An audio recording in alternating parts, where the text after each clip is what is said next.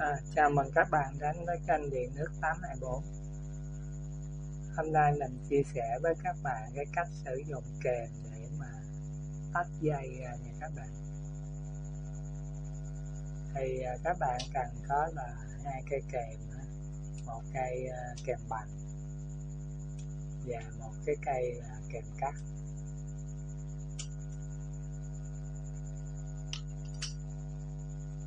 Thì à, nói với cái sợi dây điện đó các bạn.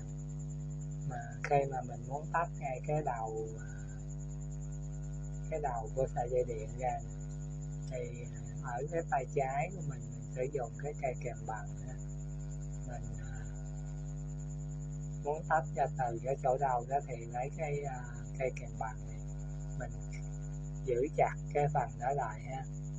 Còn cái cây kèm cắt đó thì mình cũng đưa sát hai cái má kẹp cho nó, nó dính vào nhau nha. Các bạn không không nên để hở ra như vậy mà là mình phải để cho nó sát hai cái má kẹp này dính vào nhau.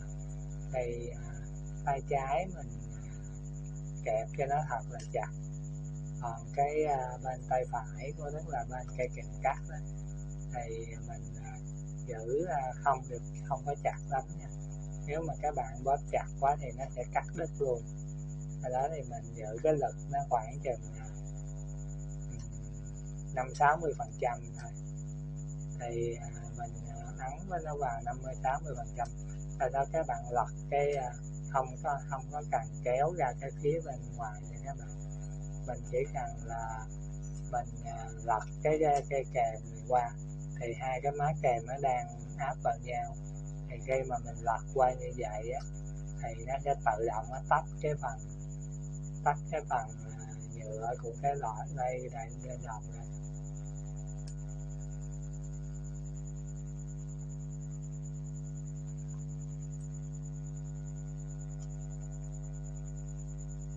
à, mình làm lại lần nữa cho các bạn xem.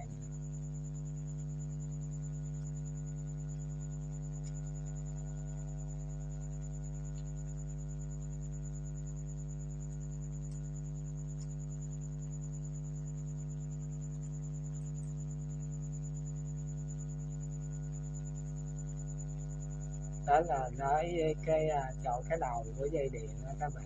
Còn nếu mà mình muốn tách ở ngay cái khoảng giữa thì cũng vậy nha các bạn.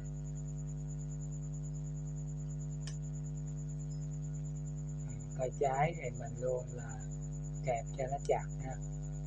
Còn bên tay phải thì mình để cái lực à, áp sát hai cái má kèm lại với nhau.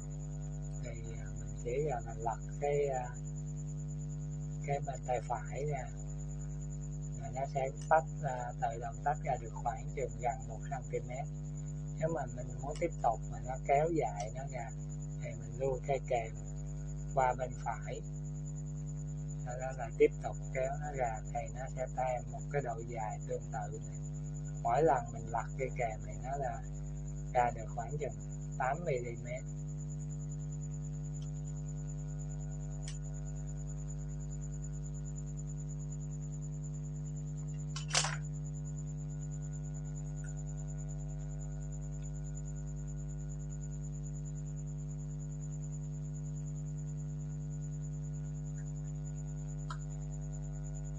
tiếp theo là mình sẽ à, chia sẻ với các bạn cái cách mà đấu giày theo cái kiểu chữ tài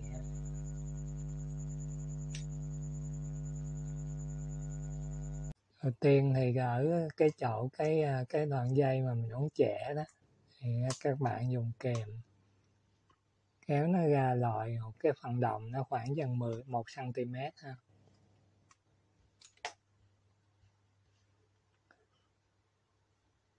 Rồi còn cái sợi dây mà mình muốn nói đó thì các bạn cách ở cái khoảng của nó đó là khoảng uh, 5 cm ha. Mình chuốt ra. Cho nó lòi cái phần đồng nó khoảng uh, 2 cm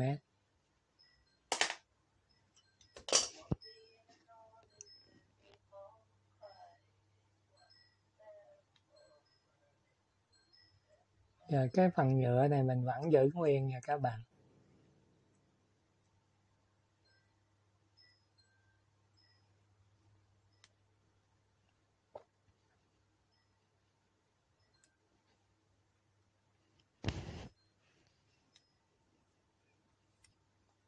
Sau khi mà mình à, đấu vô thì mình dán băng keo lại ha.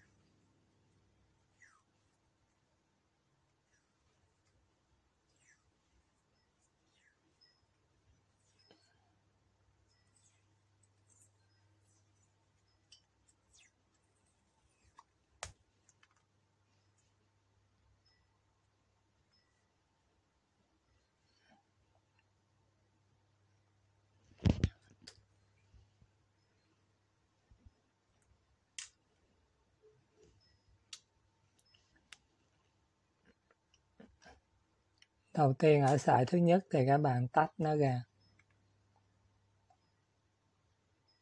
Là cho nó lòi ra cái phần đồng là cỡ 1 cm nha các bạn.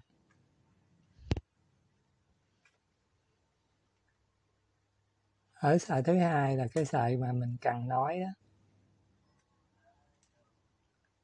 Thì mình chuốt nó ra là khoảng chừng 2 cm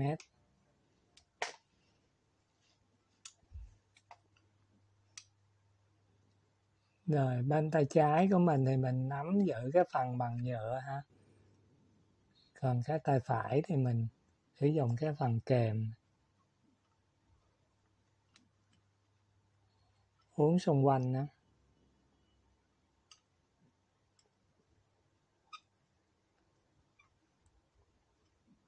rồi, sau khi mà uống hai vòng nó ôm đều vô là thì các bạn vẫn để cái phần nhựa như thế này là mình dán băng keo lại. Khi mà các bạn dán băng keo đó thì mình đầu tiên là cho nó đi qua một lớp che, khuất cái phần bằng dây đồng trước ha.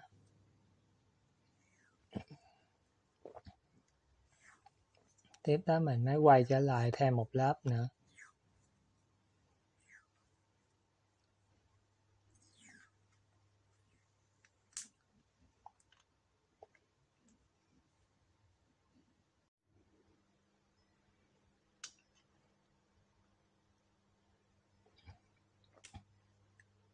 Rồi cách thứ hai đó là mình ờ, sẽ sử dụng nó là cái ờ, cũng tách nó ra làm lộ cái phần đồng ra là một cm nha các bạn.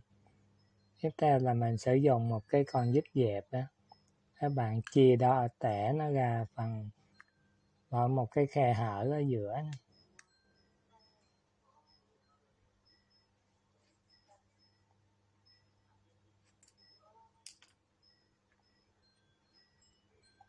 rồi, ở cái sợi dây thứ hai cần nói đó các bạn.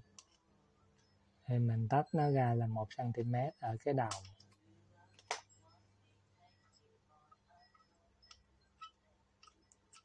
Mình bóp cái phần dây này cho nó hơi dẹp tí. Và mình đưa nó vào cái kẻ mà dây nãy mà đã đã tách ra đó các bạn.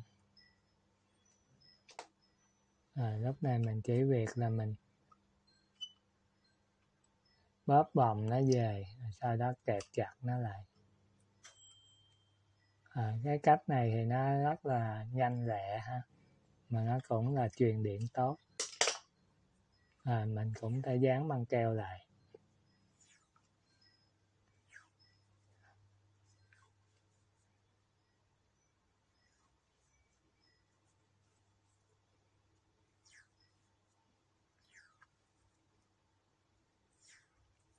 À, khi mà các bạn mà dán băng keo xong đó khi mà mình muốn bứt đứt cái cái băng phần băng keo này đó các bạn thì à, mình à, đừng có à, giật nó để đừng có lấy cái điểm tựa là ở chỗ sợi dây điện. Mà các bạn nắm nắm kẹp cái uh, bằng tay cái cái bằng keo này như, như vậy thì nó mới dễ đứt nè các bạn. Còn mà mình lấy cái điểm tựa chỗ cái sợi dây điện thì nó rất là khó đứt.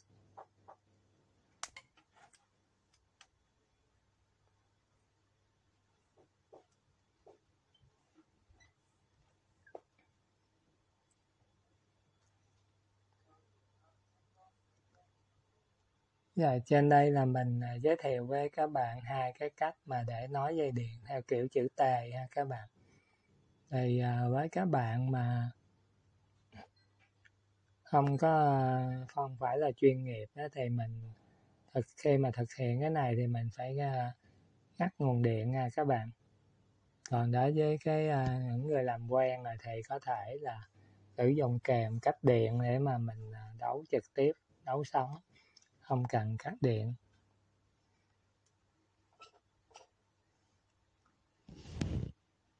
Rồi, cảm ơn các bạn rất là nhiều đã xem video của mình. Rồi, các bạn nhớ đăng ký kênh ủng hộ cho mình nha. Rồi, chúc các bạn một ngày mới vui vẻ. Hẹn gặp lại các bạn ở video sau.